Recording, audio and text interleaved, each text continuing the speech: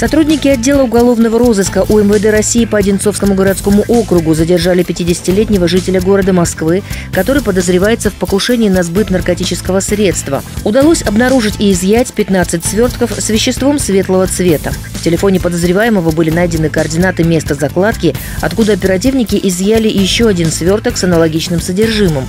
Общий вес обнаруженного вещества около килограмма. Согласно проведенному исследованию, оно является героином. Возбуждено уголовное дело, ведется следствие.